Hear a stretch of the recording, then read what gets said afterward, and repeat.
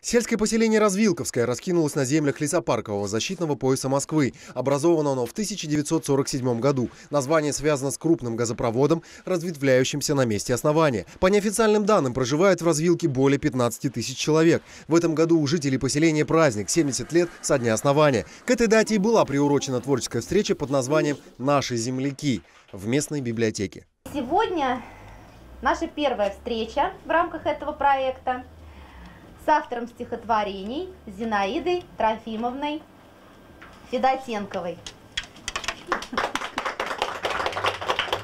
Зинаида Федосенкова всю жизнь живет в Ленинском районе. С момента окончания института и до пенсии работала в аэропорту Домодедово. Стихи писать начала еще в школе, где была редактором стен газеты. «Моя поэзия – это плод моих сомнений, размышлений и переживаний». Так характеризует свое творчество сам автор. Что может быть дороже дома? Когда намаешься вдали, спешишь скорее с аэродрома, как в край заветные журавли. За вдохновлением к творчеству Зинаиды Трофимовне ходить далеко не приходится. То, что мне дорого, то, что я люблю, вот это служит моим вдохновением. Ее стихи посвящены сыну, внуку и даже любимому питомцу. Большое место в творчестве занимает природа нашего с вами общего края. Тихо в осеннем саду, нет ни тревоги, ни страха. Вместе с собачкой пройду вдоль луговин оврага.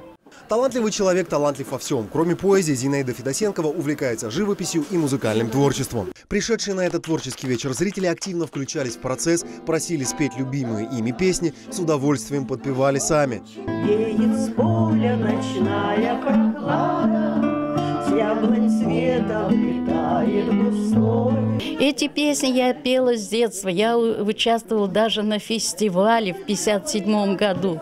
В рамках творческих встреч «Наши земляки» это был первый музыкально-поэтический вечер. Следующий обещает быть не менее интересным. В поселке Развилка очень много талантливых людей, художников, музыкантов, поэтов, писателей и так далее.